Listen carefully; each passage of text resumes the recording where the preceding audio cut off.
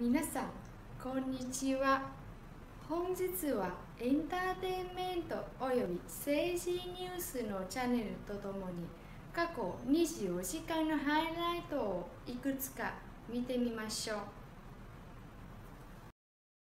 写真を拡大台風などの災害時に風力発電による電力供給や通信環境提供で官民協力石垣市、沖縄県石垣市、市長、中山義隆、株式会社ユーグレナ、本社、東京都、港区、社長、出雲光、以下、ユーグレナ社と、グループ会社の八重山食産株式会社、以下、八重山食産、及び、株式会社、チャレナジー、本社、東京都墨田区、社長、し、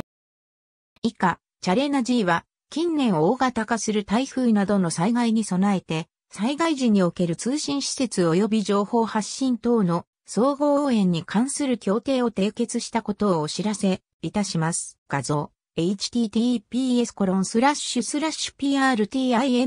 prtimes.jp スラッシュ i スラッシュ36462スラッシュ69スラッシュ resize スラッシュ t36462 ダッシュ69ダッシュ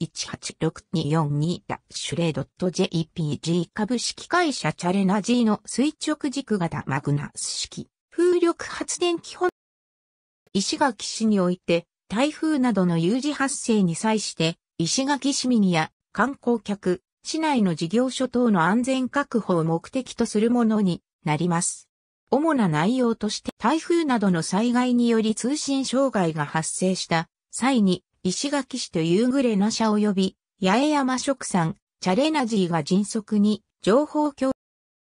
八重山食産の敷地内に設置されているチャレナジーの垂直軸型マグナス式風力発電機などの施設を利用して石垣市が通信環境を確保できるよう協力すること、石垣市の行政機能の低下を軽減させることなどです。2019年9月30日に石垣島に上陸した台風18号は石垣市との城で最大瞬間風速43.2メートルを観測。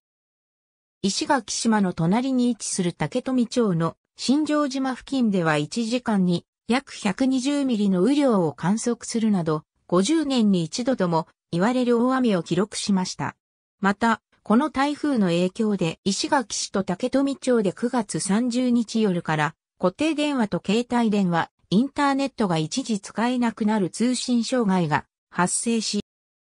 新石垣空港ではすべての便の運航を見合わせて空港機能が停止するなどの被害がありました。その際にも垂直軸型マグナス式風力発電機は問題なく稼働し、電力及び通信環境を維持したことから、市民や観光客などの安全確保に活用するべく、本協定の締結に至りました。石垣市と夕暮れな社及び、八重山食産、チャレナ社会と共に持続的な成長と発展する未来に向けて、今後も相互連携しながら災害対応に取り組んでいきます。詳細は災害時における通信施設及び情報発信等の総合応援に関する協定について締結日2020年1月27日、主な協定内容災害時に通信障害が発生した際に、夕暮れな社及び八重山食産、チャレナジーは石垣市からの要請に基づき以下の応援を提供。また、その他の事項についても、必要に応じて相互に応援を要請、夕暮れな社及び、八重山食産、チャレナジーの所有または管理する発電施設からの電力供給。夕暮れな社及び、八重山、チャレナジーの所有または管理する通信施設の利用、及び情報発信等に必要となる敷地の利用、八重山食産の敷地内における石垣市が使用する緊急通行車両の敷地内通行の許、夕暮れな車及び、八重山食産、チャレナジーが所有する事業用車両の対応協力。垂直軸型マグナス式風力発電機について、マグナス力と垂直軸型を組み合わせ、プロペラのない次世代型の風力発電機であり、プロペラによる揚力ではなく、円筒を回転させることによって発生するマグナス力を利用することで制御できる風速域が広いのが特徴です。一般的な風力発電機では、風速秒速25メートルを超える場合、破損や故障のリスクがあるため止めるように設計されています。垂直軸型マグナス式風力発電機は、風速秒速40メートルまで安定的に発電できます。また、垂直軸型にすることで、あらゆる風向に対応できます。一般的な風力発電機と比較して、低回転のため、騒音やバードストライクなどの環境影響の低減も期待。